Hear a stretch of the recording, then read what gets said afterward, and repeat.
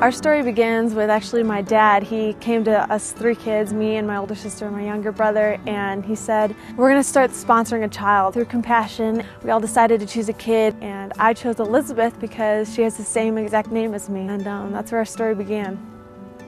Mi nombre es Elizabeth. My name is Elizabeth. I am 10 years old, and this is my story.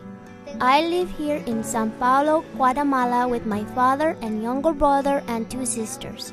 Six years ago, I was sponsored by a girl in America through Compassion, and she and I have the same name, Elizabeth. Mi papá está, está. Two years ago, my father had a bad fall while working and hurt his back very badly. He couldn't move or walk, and still can hardly work to earn money for us.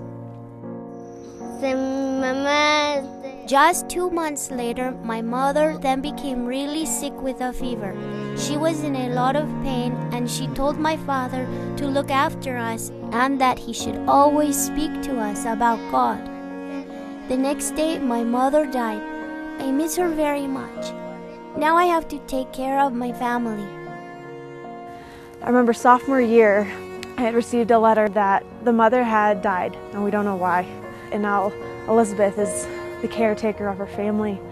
And I just kind of wanted to like just cry, like this family didn't need this right now. Like the dad's already sick and in bed. I just remember feeling devastated.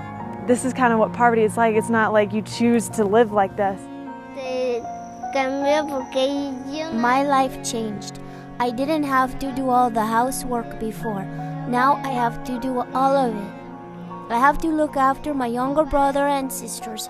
I sweep the floor. I make the beds. I do the dishes and the laundry. And I cook. Most times we have barely enough food for all of us. It's very difficult for me. This is a real story and this is a real journey. I get to take part in her life and helping her get back on her feet. And I was just so grateful at that time for compassion. You know, if compassion wasn't there, I don't even know what would happen to her or her family.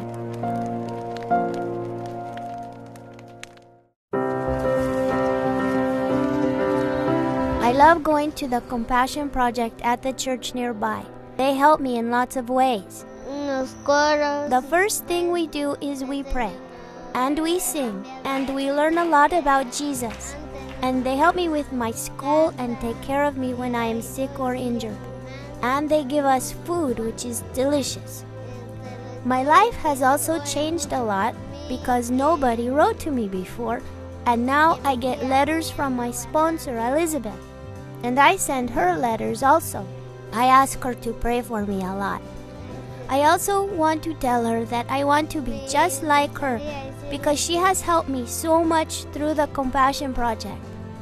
For Elizabeth, it's the difference between health care and no health care, or school, or tutoring, or somebody just to listen to her and know her story and talk to her about it, helping her kind of climb out of her situation that she's been born in and um, breaking that cycle of poverty. For her, it can change the story. My favorite Bible verse is Behold how good and pleasant it is when brothers live in unity. Psalm 133. What I've learned through my relationship with Elizabeth is how big my influence could really be. For just $38 a month, I can change the story for Elizabeth through compassion. If everybody could just do that, it could change the whole world. If you want to be that person in a child's life, sponsor a child today. Mi nombre es Elizabeth. My name is Elizabeth, and we are changing the story together. My name is Elizabeth, and we're changing the story together.